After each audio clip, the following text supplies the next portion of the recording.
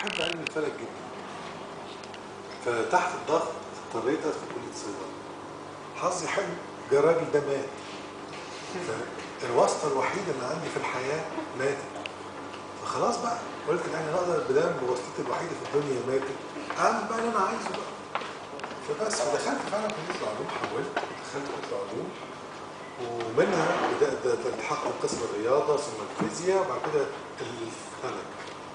أربع سنين في الجامعة وأنت أي حد يشوفك.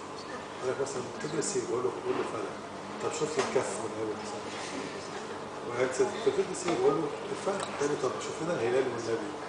اقرا لي الفنجان آه، هي كان أطرف يعني في في حاجة لما سافرت فرنسا وخدت ماجستير ودكتوراه من جامعة باريس. فرجعت آه، يعني هم قالوا واحد مت... واحد بره متعلم بره. جاني واحد من قرايبنا قال لي أنا طالبك في خدمة. قال لي مش أنت بتفهم في الفضاء؟ قلت له يعني مش عاجبك دكتوراه في الفضاء؟ آه. قال لي طب أنا عايزك بكرة هعدي عليك. خدني وقعدنا سايقين سايقين طلعنا من القاهرة. بقينا في أماكن بعيدة جدا. قلت له قال لي هقول لك مش عايز أقول لك قدام الناس. قلت فطلع وقفنا كده في أرض متصورة. قلت أنا أرض فضاء للبيع قال لي تمن لي دي بقى بكام؟ وده وده يعني هو جوز خالتي شخص غريب. فالعلم ده إيه؟ لا في حاجات كتير قوي كل ما تحب حاجة هتلاقي ألف واحد يكرهك فيها. عشان إحنا ما بنعرفش نخلي الناس تحلم. دايما في ناس أنا بتعيش بقى إن الشخص الشاب الكويس الأفكار دي من خمس سبع سنين اسمه عليها مجنون ف في حياتكم بقى هتشوفوا من ده كتير. يعني لسه هتتخرجوا وهتشتغلوا وهتتجوزوا وكده. بقى على ده كل شيء في حياتك الشخصية. يعني أهم شيء في رأيي اللي عايز ينجح إن هو يعمل حاجة فعلا بيحبها. إنه ما يسمعش كلام الناس. أنا لو كنت سمعت لكلام الناس كان زمان دلوقتي بدور على واسطة في المصنع اللي هو قريبي مات فيه. بس ما كانش فيه آه، ما كانش فيه آه، يعني أي شيء. وبعدين ما تحبطش الاحباط صفه وحشة. يعني لازم ناس كتير بتعلن لما أنت مثلا تتخرج وتسافر وبقى تشتغل في ناس وتبدا طريق بقى نجاحات الناس بتسافر بره الطرق مفتوحة قدامها وكده أقول لكم على شيء لطيف جدا أنا كنت باخد في منحة من الحكومة الفرنسية. بعد ما خلصت في الجامعة عينت معيد وكنت باخد 48 جنيه ونص. كان رئيس القسم ابنه متعين في فعش- فكان يعني بيعاملني وحش عشان يعني ابنه يبقى ليه الاولويات فكنت باخد مرتب بدون أي حوافز 48 جنيه ونص بس. ففي مرة بيقول لي وأنا رايح بدرس في السكشن قال لي هيئتك مش هيئه مدرس في الجامعة. قلت له ليه؟ قال لي البس بدله تحمل اسم أعضاء هيئة التدريس.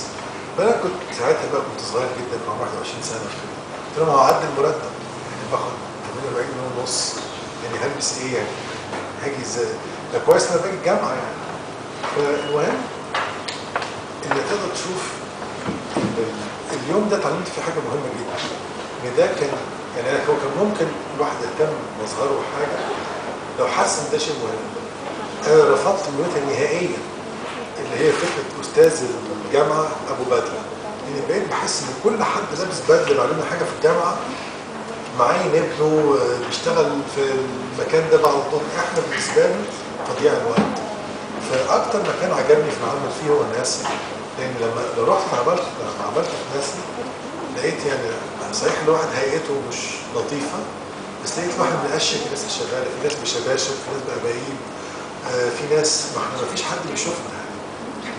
المكان اللي إحنا فيه قاعات تحت الأرض وممرات دخول فيها ببصمه وبادجو يعني مش مثلا يعني حد بالصدفة هيقابلك كده. فأجمل شيء في الناس إن هو مفيش اهتمام بالمظهر كل الاهتمام بالجوهر فلغاية اليوم اللي شفت فيه رئيس المركز عندنا شخصية بسيطة جدا. وهو آه، ساعتها اللي كان موجود رئيس الديفيجن كان من أصل آسيوي. فعشان يمشي حافي الشراب بس عشان جزمته ما تعملش صوت للموظفين يزعجهم. ولما يجي يخبط على الباب يخبط ويستخبى على جنب كده لو انت معاك حد عشان ما يزعجكش. أنا كنت فاهم في الأول ده شخص حد بيشحت في الجامعة يعني في المركز. قلت مين ده؟ ده, ده؟ رئيس المركز. يعني أنا فعلا كنت فاكره شخص متسول وحاطط حاجات كلها في كيس بلاستيك كده ورق وقلم.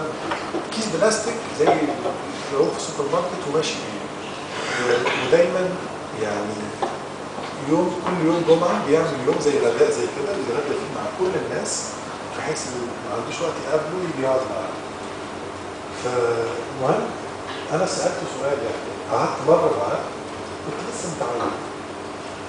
قلت له يعني هو هو شارك في حاجات مشروعات كتير. فقلت له عايز حضرتك تنصحني نصيحه بصفتك يعني ساعتها عمري 24 سنة ولسه متعين في الناس. انصحني نصيحه آه، قال لي انصحك نصيحه حلوة. آه، كنا إحنا ساعتها في Johnson Space Center اللي هو اللي كان مسؤول عن كل مهام القمر مشروع أبولو بالكامل.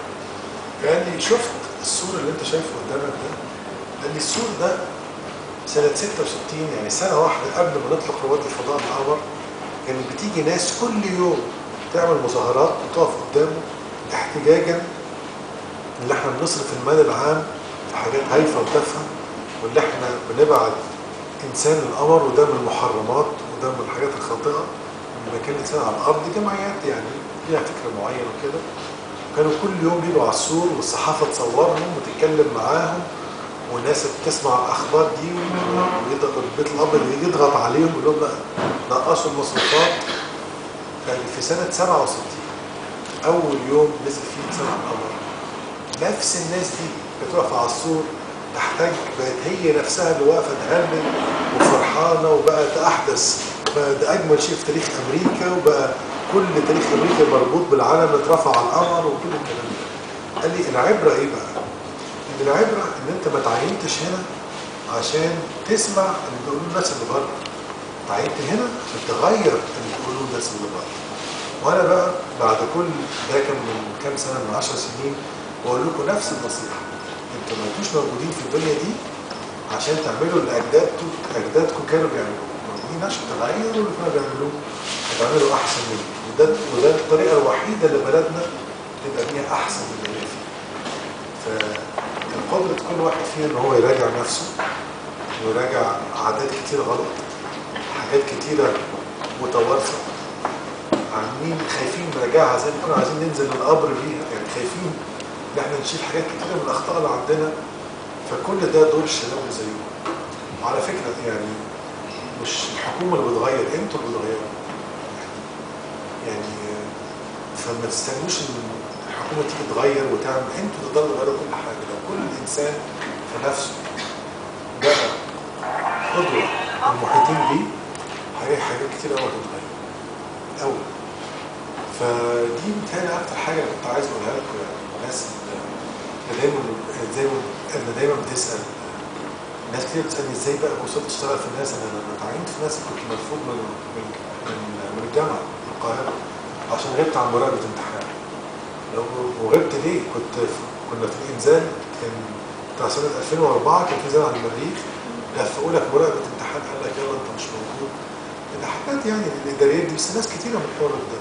بس أهم شيء يمكن نعمتين من واحد ربنا اداهم أول في آه، في نعمة إنك تحلم. وتاني نعمة إنك تنسى. هو في مشاكل ممكن تحلها بالتفكير وفي مشاكل ما تحلش إلا بالنسيان. والظلم كده. لو قعدت تفتكر كل حد ظلم وقعدت تفتكر كل حد وقف في طريقك مش هتعمل أي حاجة في حياتك. لازم تنسى.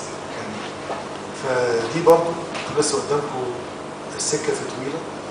فانك أنت تحلم وتنسى الناس اللي بتقعد تكسر فيك ده ده شيء مهم توفير زي ما نكون إحنا عالم هنقول مثلا مش مثلا هنوفر أجهزة ال laptops المغرقه القسم والإنترنت ال high speed والسفريات اللي بنسافرها بره هي اللي واخدة الميزانية لا الكهرباء.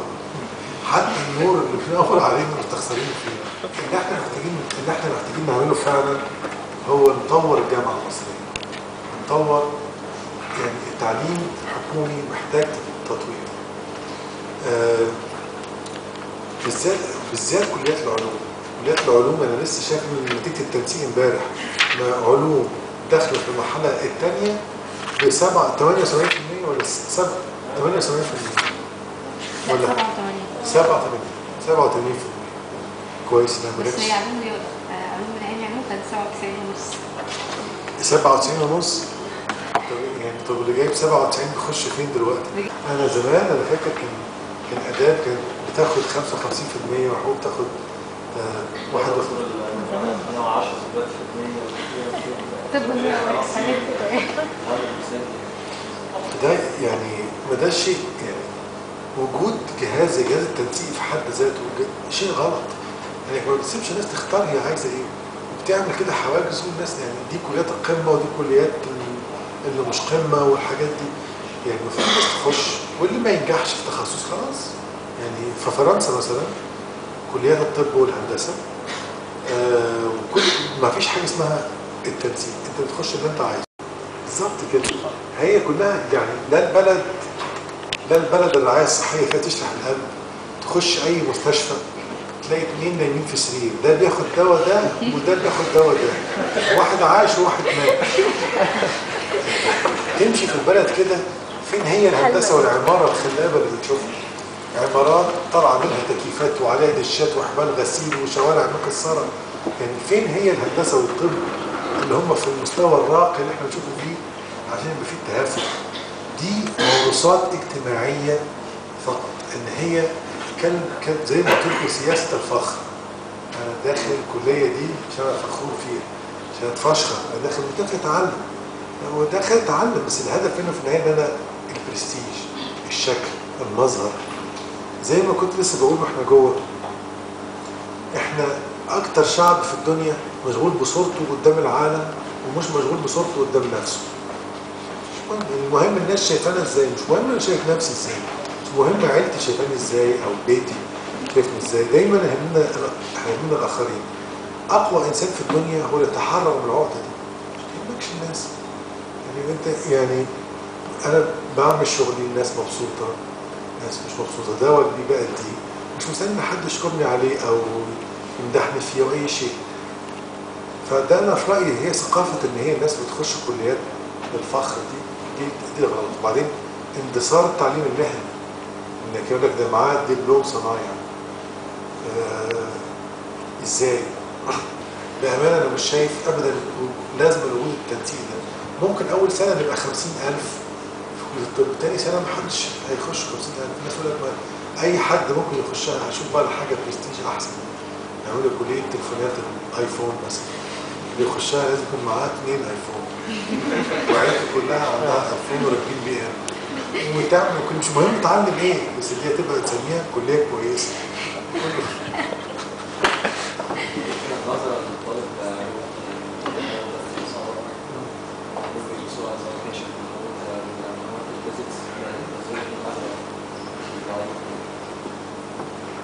ده هو ده دايما أنا فاكر كويس لما كنت كده في أمريكا بتخرج من الجامعة.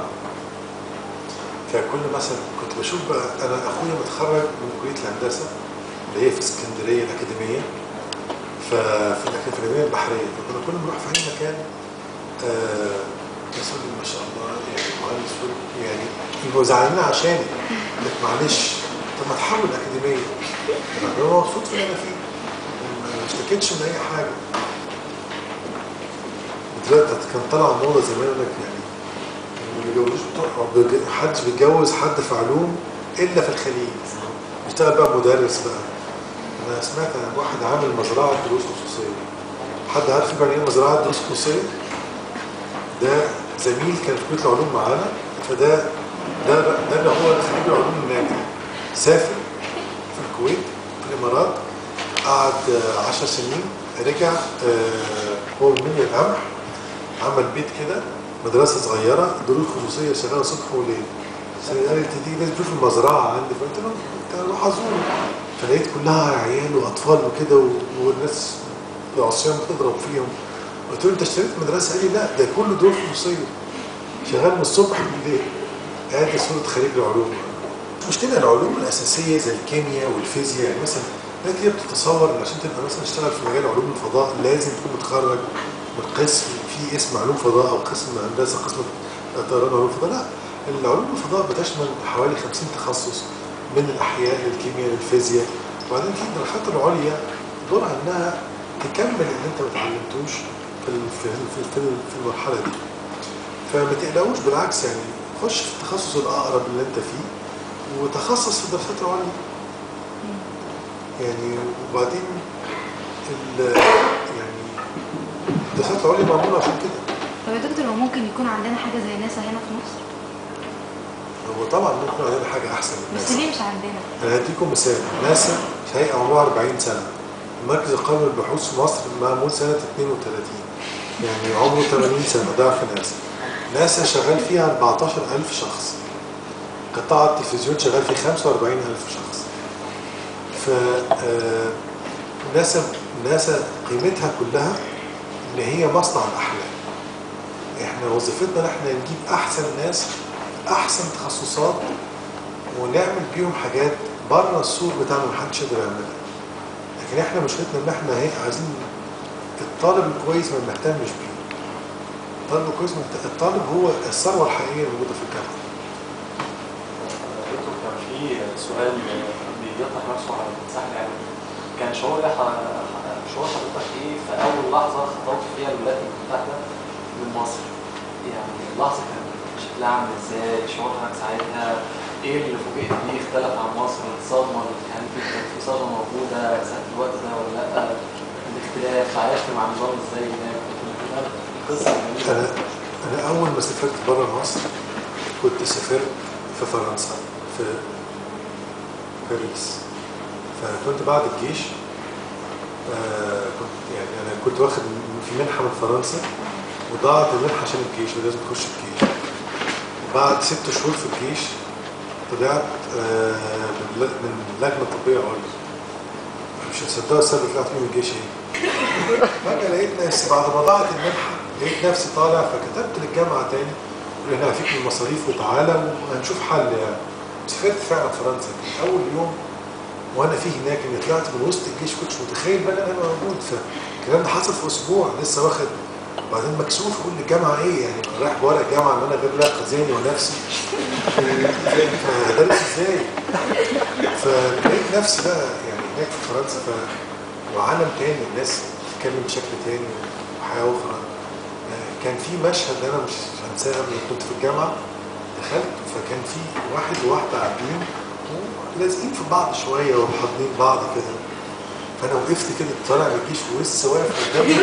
قلت أنا كويس أنا هنا في موقع قوة هبقى أنا شاهد. والناس هتيجي كلها بالشوم دلوقتي تنزل عليهم. وأنا هبقى واقف هنا شاهد. أنا الشاهد قعدت واقف كده. بص محدش أي حد جه. مفيش أي حد اتكلم. وأنا مستني بقى الناس جاية من الكراسي. فمشيت. رحت شوية ده لقيت ناس لها نفس الشيء. ولغايه وكل ما أروح في حتة نفس الشيء ولغايه ما وصلت السكن الجامعي لقيته مختلط. يعني أنا عشت كل حاجة في حياتي في انفصال تام أنا كنت في المدرسة على فكرة اللي ورا الجامعة يعني. ورا هي اللي سيبة باللوم. خدتوا بالكم؟ سيبة باللوم فيها قسم بنات وقسم أولاد. وفيها سور كده زي اللي برلين عليها اسلاك شائكه وازاز مكسر. أنا عشت بالسور ده. ودخلت الجامعة كنت العلوم برضه في فصل ودخلت الجيش أساسي مفيش أي حاجة. فجأة أنا في مكان مختلف فمش عارف أعمل إيه. فكان في حد طالع المنحه من مصر معايا. فقال لي بص إحنا نقفل علينا. لا ناكل من اكلهم إحنا لازم الصبح بدري قبل ما هم يصحوا ونخرج عشان الفطار مع بعض. وننام بعد ما هم يناموا. نيجي إحنا بعد ما قعدنا كده فعلا قعدنا كده فعلا في الحال ده ثلاث شهور هم يتعاملوا معانا إحنا مخلوقات من الفضاء. إحنا فعلا